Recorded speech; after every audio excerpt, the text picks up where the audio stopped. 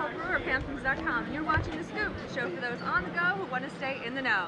Today, we are here with Mark Feuerstein, the star of Royal Pains, shooting in Southampton Village, which looks like the summer. You having fun out here today?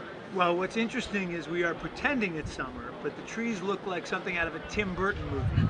they are bare, no leaves, but we have our amazing art department put flowers.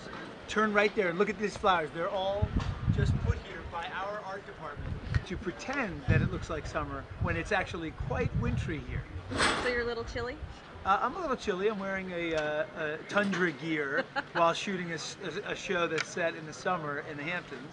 But uh, life is good. We're on our favorite main street in the world, the main street of Southampton, New York, and life is good. Life is good here. We are so glad you came because the village looks beautiful. We wish it could stay like this. And in a few months it will be. You're getting soup.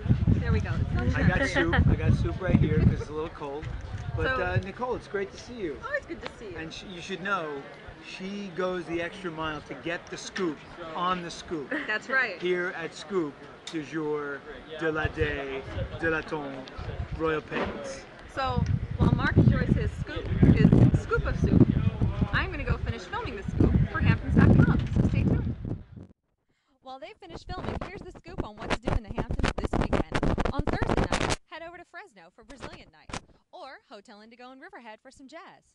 Friday, learn the basics of sake at Sen and Sag Harbor from sake sommelier and general manager Jesse Matsuoka. On Saturday, start the day with brunch and a penguin Easter egg hunt at Atlantis Marine World in Riverhead. Then head over to Guildhall in East Hampton for a star-studded presentation of the Vagina Monologues with Blythe Danner and Brooke Shields. As always, there is so much to see and do in the Hamptons, and the best place to check it all out and plan your weekend is the newly revamped, revised, and refabulous Hamptons.com calendar of events.